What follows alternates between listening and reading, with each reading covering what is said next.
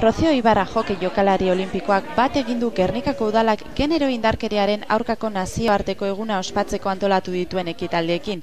Espainiako selekzioarekin nazioarteko eta hiru aldiz Olimpiar selekzioko kide izan den kirolariak Basque Team Fundazioak sustatutako hitzaldian parte hartu du kirola genero ikuspegitik jorratuz. Bilbotarrak bere bilbide profesionalean emakume izateagatik pairatu behar izan dituen diskriminazioak azaldu ditu, kirolarloan berdintasuna lortzeko oraindik urrats handiak eman behar direla azpimarratuz.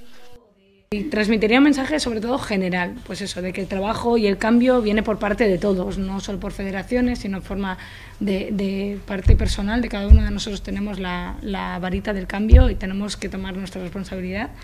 y pondría que somos iguales, tanto con las posibilidades y las opciones, libres de buscar nuestro camino. Jardunaldi hau ez da Gernikako udaleko berdintasun arloak genero indarkeriaren aurkako nazioarteko egunaren arira antolatutako ekitaldi bakarra, beste sei ekimen ere abiatu baititu. Ekitaldi horien artean aipatzekoak dira esaterako autodefentsa tailerra eta beldurbarik lehiaketaren sari banaketa. Gernikak emakume kirolarien eskubiden defentsan eredu izan nahi duela azaldu du Irati Martinez Agirrezabala berdintasun zinegotziak.